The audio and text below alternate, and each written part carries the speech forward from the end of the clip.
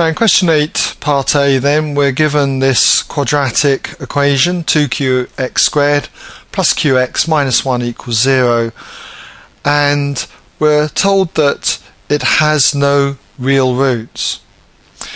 Now, if it has no real roots, it means that the discriminant I'll just remind you what that is all about. Remember, if you have a quadratic equation of the form, say, ax squared plus bx plus c equals naught, you'd normally try and solve this via the formula, which would be x equals minus b plus or minus square root b squared minus 4ac, all divided by 2a. And it's the square root bit that controls the nature of the roots.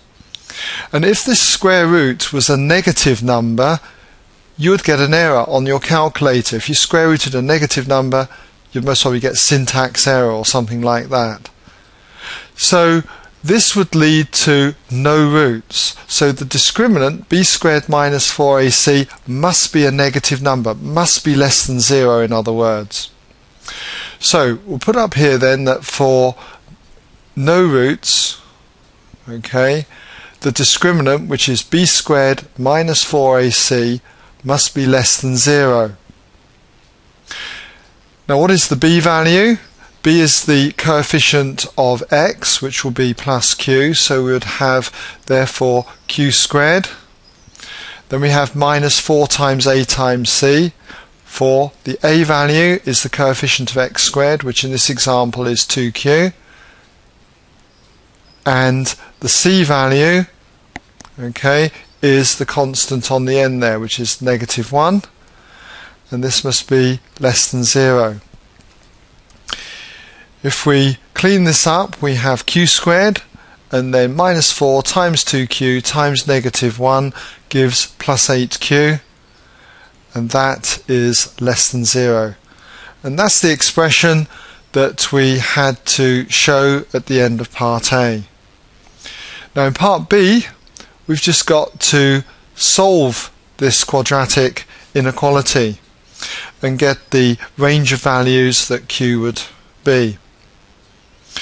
Well, when you solve a quadratic inequality, what we do is we factorize it. So factorizing that would be q as a common factor and we'd have q plus 8 is less than 0.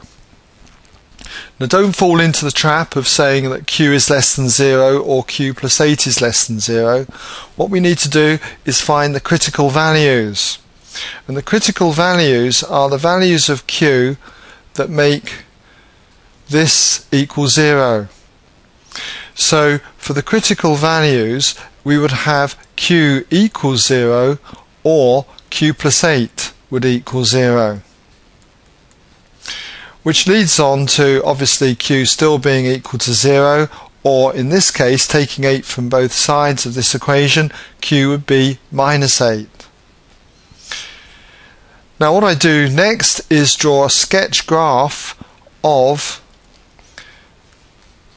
let's just put the axis there, the sketch graph of y equals q bracket q plus 8. Or if you expanded this, the graph of y equals q squared plus 8q. Now, when we considered the critical values, we made this equal to 0, so that's when essentially y equals 0. And we found that y was equal to 0 when q was 0 or minus 8.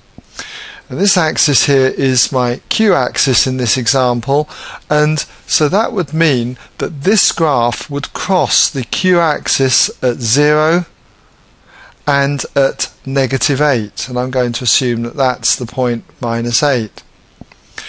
And because this is a positive q-squared graph, you would get a graph that was u-shaped, like this.